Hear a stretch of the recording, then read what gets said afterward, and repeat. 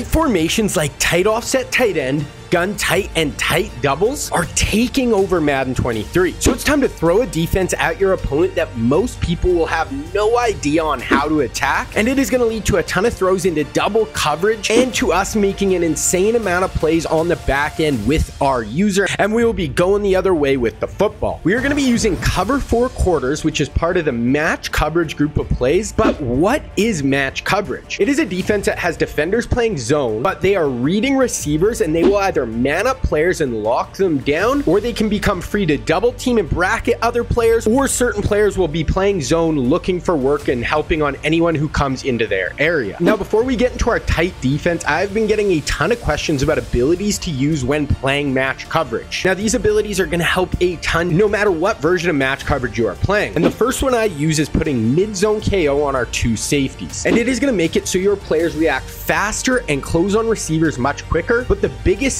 is when they meet receivers at the catch point, they will force so many incompletions. The amount of knockouts I get is absolutely insane. And I also don't know if everyone is aware of the area where this ability activates. It will work from the line of scrimmage to 20 yards deep inside the numbers, but it'll also work from 10 to 20 yards deep along the sideline. So you will be even forcing knockouts on corner routes, attacking the outside, which gets super powerful and makes this one of the best abilities in the game. Next, I have one edge threat here, and this is insanely helpful because in these match schemes, we are running so many four-man rushes, so the more pressure we can get and easy wins that we get along the D-line, the less time we have to cover on the back end, and this really can help take your match defense to the next level. So if you can put at least one edge threat on one of your defensive ends, that is ideal. Then lastly, I have at least one inside stuff on your D tackles if you can. We will always be playing two high safeties in this scheme, so we need to be able to stop the run with our front seven. So having easy wins where they blow up the run on the inside will really make playing these match coverage schemes that much more effective. Match coverage is going to do an amazing job as our base call to lock up these tight formations because every good player you face will have a game plan on how to attack man coverage or all the different zone variations, but most people have no idea the rules of match coverage or how to actually beat it. So once you learn the routes and plays they love to go to in these formations and the rules of the match coverage, you are going to make an insane amount of plays and really limit these offenses. Match coverage is also designed to get double teams on the deep route combos down the field. So this can do a great job of limiting explosives and getting multiple players at the football to cause knockouts. So sometimes it will be one-on-ones down the field and your players are just going to have to make the play. Now what we are going over today is a part of our match coverage game plan all inspired by the GOAT Nick Saban and his legendary run at Alabama where he has led the Tide to become the greatest dynasty in college football history. Over the past seven to eight seasons, the Tide have evolved into a four down lineman based defense with a nickelback on the field that Saban refers to as his star position. Then the Tide run an insanely advanced match coverage scheme that Saban refers to as his cover seven coverages. This gives him so many checks and options to answer to whatever his opponent is trying to accomplish offensively. Now I'm going to leave a link down in the description for this whole Saban defensive scheme and you can check out all the other match coverage breakdowns that I have done for this defense. Now for the video today, we are going to be using cover four quarters in the formation big nickel over G. And before we even get on the field, go to your coaching adjustments. You want to turn your match coverage on, and then usually I have auto alignment on base. Then go to big nickel over G, and you want to go over to your packages and go to slot CB. This will allow you to put all the right defensive adjustments on the field. Now we're going to be breaking down quarters versus these tight looks,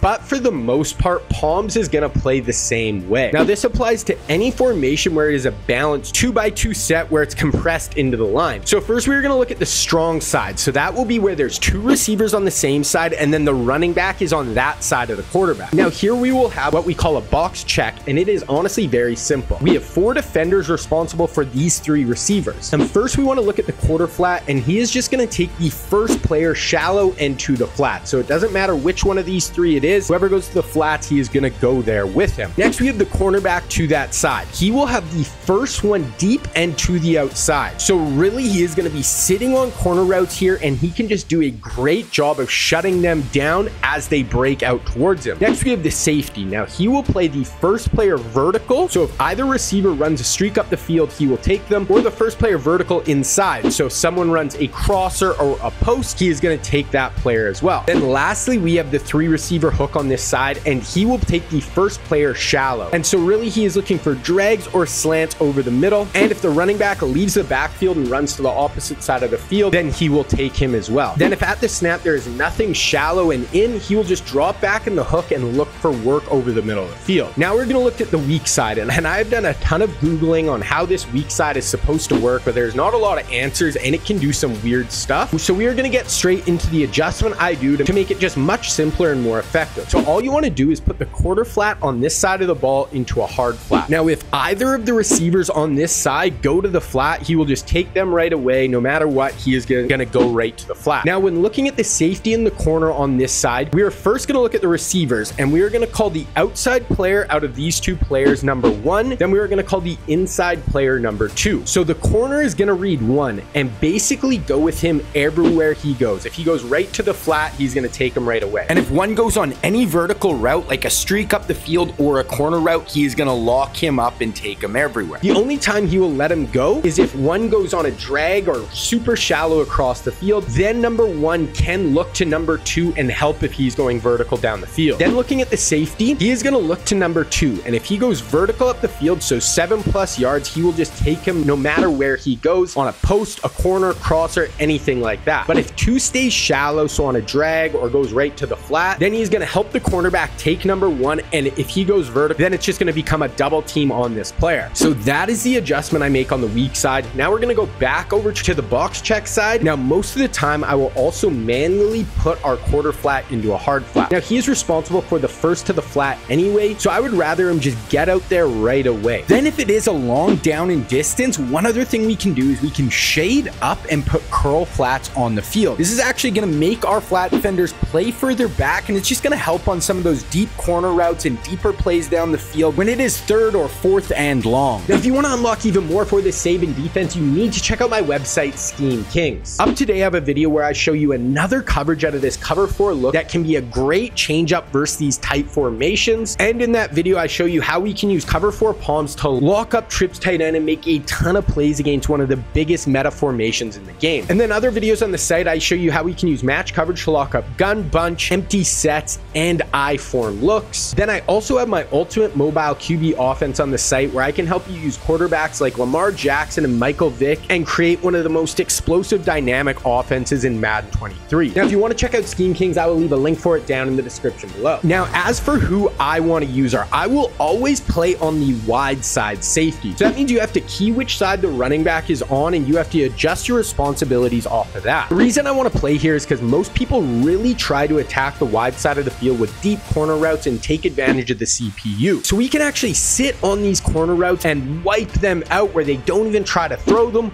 or if they do, we can jump them and make a ton of plays on the football. And then also, if everyone breaks down and we don't have to match anyone down the field, now we can be free to help on anything we see getting open and, really just help if we see any breakdowns and make a play on the ball. Now, as the user, we are in a super crucial spot, and if we aren't careful, we can give up some big plays. If you are late reacting to deep corner routes down the field, you can be a step behind and you can give up a huge explosive play. Then if you do get caught flat-footed trying to play stuff underneath, then once again, the player you're responsible can get vertical in behind you for a big play down the field. Then the way we set this defense up really puts our outside corners in a great position to jump a ton of these outside breaking corner routes. And this is really the backbone go-to routes in these tight formations. They want to attack the sideline, so the more plays you can make on these balls, the more frustrated on offense they will be, and they will have to switch it up and get out of these tight looks. Then once we lock everything down on the deep end, then we do have a really solid underneath coverage that plays very well. We will have this three receiver hook